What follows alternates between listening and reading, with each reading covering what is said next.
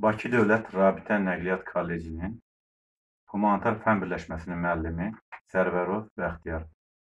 Fənnimiz politologiya. Dərsimizin mövzusu Ulu Öndər Heydər Əliyev cənablarının Azərbaycan Respublikasında hüquqi dövlət quruculuğu.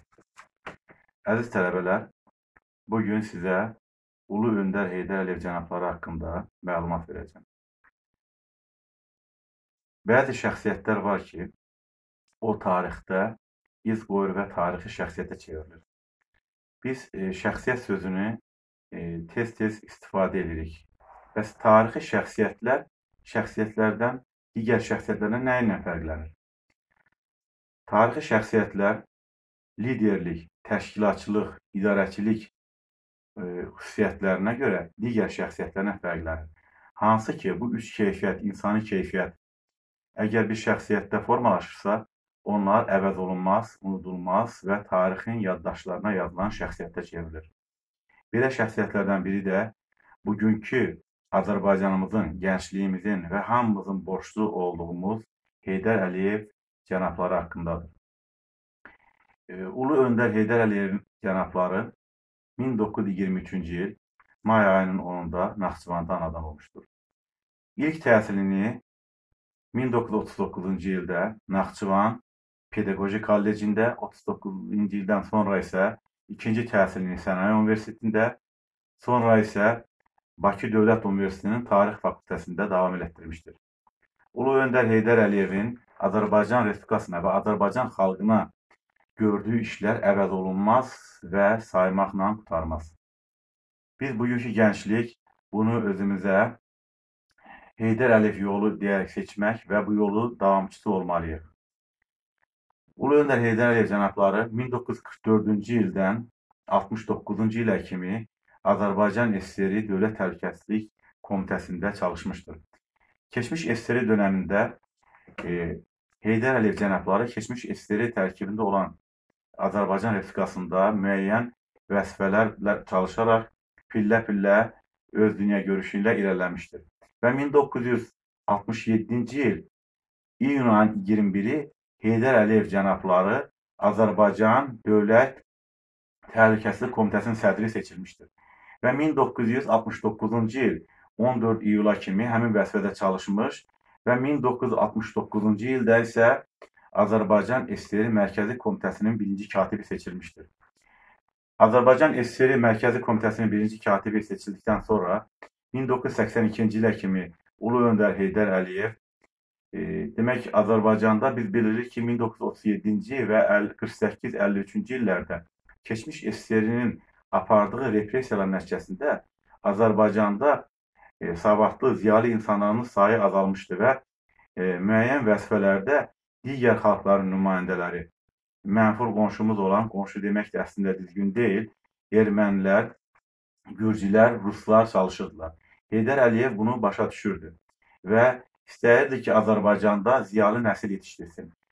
Və həmin dövrdə 1969-1982-ci il Azərbaycan Respublikası Mərkəzi Komitəsinin birinci katibi olduğu dövrdə Heydər Əliyev cənabları Azərbaycandan saysız çoxlu gənci keçmiş SSR-nin aparıcı universitetlərinə təhsil almaq üçün göndərdi. Yəni Moskvaya, Leningrada və digər respublikalara.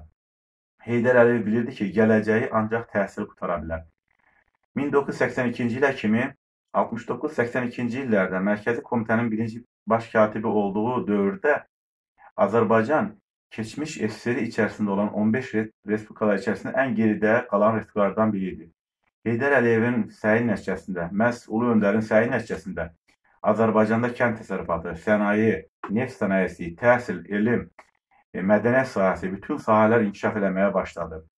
Pambıqçılıq sahəsi e, Heydər Əliyevin səyi nəticəsində demək olar ki, SSR-də e, Orta Asiyadan sonra 1 milyon tondan yuxarıya kimi Azərbaycanda pambıq istehsal olundu və artıq Moskvada hər bir yerdə Azərbaycanı hamı tanıyırdı. Azərbaycanda üzümçülüyün, e, çay plantasiyalarının salınması, taxılçılığın inkişafı Heydər Əliyevin səyi nəticəsində olmuşdu. Və 1982-ci ildə e, Heydər Əliyev cənabları keçmiş SSR-yə, mərkəzə dəvət olundu və siyasi büroya e, üst seçildi. E, həmin dövrdə keçmiş SSR-i dünyanın aparıcı və ən qabaqcıl ölkəsi idi. Hansı ki, bütün dünya ölkələri SSR-dən ehtiyat eləyirdi. Həmin ölkənin ən rəhbər vəzifələrindən birində çalışan Heydər Əliyev cənabları orada olduğu müddətdə də Azərbaycanın təhsilinin, elmin inkişafı üçün böyük səylər göstərirdi.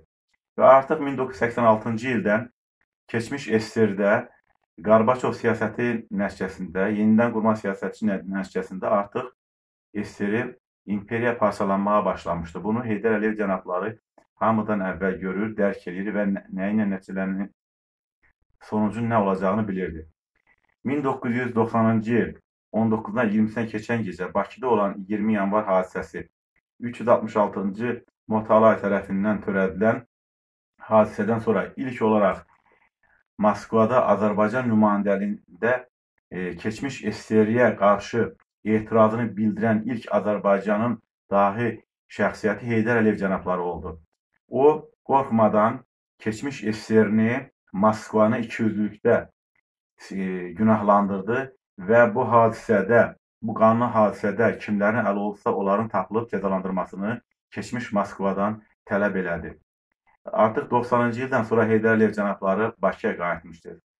Və 91-91-ci ildə Naxçıvan Muxtar Respublikasının Ali Sovetinin sədri seçildi. Həmin dövrdə Naxçıvan Muxtar Respublikası blokadada idi və Heydər Əliyev sənin nəticəsində Türkiyə, İran və digər ölkələrlə qurduğu münasibətlər nəticəsində Naxçıvan artıq blokadadan çıxardılmışdı. Ancaq Azərbaycanda işlər olduğu qaydada getmirdi. Demək olar ki, 93-cü illər kimi artıq xaos başlamışdı və Azərbaycanda ordu pərən salınmış, özbaşınalıq, silahlı qruplaşmaların formalaşması, Cənub bölgəsindən kimlərinsə baş qaldırması və Azərbaycanın parçalanması üçün çoxlu səylər aparılırdı və bunu da Heydər Əliyev cənabları başa düşürdü. Həmin dövrdə Azərbaycanda 91 nəfərdən ibarət ziyalı Heydər Əliyevə xalqın adına müraciət edərək və Heydər Əliyevin yalnız Azərbaycan xalqının qurtarıcısı olacağını dəfələrlə qeyd etdilər və müraciət elədilər. Heydər Əliyev isə ulu öndərimiz e, bu xalqın övladı, vətəndaşı və xalqını sevən bir insan kimi 1993-cü ildə Azərbaycana gəldi. 1993-cü il iyunun 15-də Ali Sovetin sədri, e, sonra isə e, Azərbaycan Ümumxalq səs vermə yolu ilə Azərbaycan Respublikasının prezidenti seçildi. Heydər Əliyev cənabları 1993-98-ci illərdə artıq oktyabrın 3-də ümumxalq səsvermə yolu ilə ulu öndərimiz prezident seçilmişdi və ölkənin daxili və xarici siyasətində müəyyən addımlar atmaq vaxtı idi. 94-cü ildə atəşkəs elan olunduqdan sonra ilk addım 1994-cü il Ulu Öndər Heydər Əliyevin rəhbərliyi ilə 20 sentyabrda əsrin müqaviləsi olan neft kontraktı imzalandı ki, bu da dünya ölkələrinin Azərbaycan olan marağını və Azərbaycanın dünyadakı rolunu təsdiq elədi. Artıq SSR-dən ayrılmış Azərbaycan Respublikası müstəqillik qazanmışdı və ölkənin bütün e, konstitusiyasına dəyişiklik eləmək vaxtı çatmışdı. Heydər Əliyevin səyi nəticəsində 1995-ci il noyabr ayının 12-sində yeni konstitusiya Azərbaycan Respublikası konstitusiyası qəbul olundu. Heydər Əliyev, e, Ulu Öndər Heydər Əliyev artıq Azərbaycan dövlətini digər ölkələrə tanıtmaq, beynəlxalq alim, alim, aləmdə tanıtmaq üçün bütün səylərdən istifadə elədi. 1993-cü il, 98-ci il illərdə 30 dünyanın 33 aparıcı ölkəsinə 79 səfər edilmiş 431 e, beynəlxalq müqavilələr, sənədlər imzalanmışdır. Ölkədə hərc-mərclik aradan götürülmüş, milli manat Azərbaycana tək ödəniş vasitəsi olmuşdur. E, elmin tərəqqisi, elmin inkişafı, e, kənd sərvətinin inkişafı Heydər Əliyev səyi nəticəsində artıq bərpa olunmuşdur. Artıq xalq ulu öndərin Azərbaycana rəhbərlik dövründə firavan həyat yaşamağa başladı. Hal-hazırda isə e, həmin e, bugünkü e, firavan həyatı bizim Heydər e, ulu öndərimiz Heydər Əliyev cənablarının qoyduğu siyasət və onun düzgün davamçısı olan Heydər Əliyev nəticəsində bu gün də həmin siyasətin bəhrəsini görməkdəyik. Və artıq demək olar ki, e, neft e, kəmərlərinin çəkilməsi, Kars dəmir yolunun çəkilməsi, Azərbaycanın Avropaya, dünyaya açılması demək olar ki, bu gün Avropa ölkələrinin əksəriyyəti Azərbaycanı qabaqcıl ölkə kimi tanıyır və gələcəkdə də bu davam eləyəcək. Bugünkü gəncliyimiz və gələcəyimiz Heydər Əliyev cənablarına borcluyuq. Əziz tələbələrimiz, bugünkü dərsimiz bu qədər. Çox sağ olun, təşəkkür edirəm.